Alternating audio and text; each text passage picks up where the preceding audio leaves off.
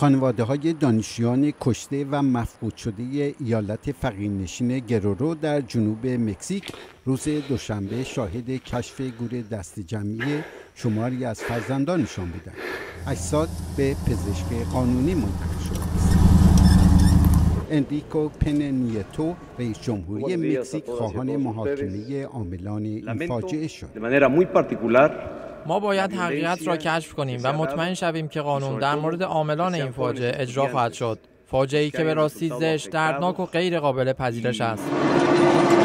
مقام های دولتی مکزیک می‌گویند شماری از متهمان از جمله 22 پلیس و در رأس آنها رئیس پلیس منطقه را بازداشت کردند. با این همه مردم شهر تکسلا که بیشتر دانشجویان ساکن آن بودند هنوز از اقدامات دولت مرکزی خوشنود نیستند و می‌خواهند با باندهای مواد مخدر و همکارانشان در اداره پلیس و مقامهای محلی این ایالت قاطعانه برخورد شود.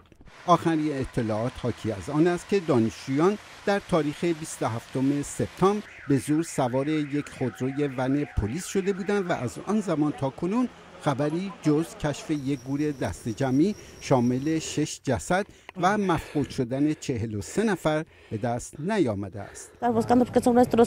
مادر یکی از دانشیان ناپدید شده گورهای دست جمعی را ناشی از همکاری پلیس و باندهای مواد مخدر دانسته می‌گوید ما تا یافتن عاملان این فاجعه آرام نخواهیم بود. خانواده ها می‌گویند ریشه خشونت ها در این ایالت فقیرنشین عدم برخورد قاطع دولت مرکزی با فساد ناشی از همکاری پلیس و مقام های محلی با باندهای مواد مخدر است.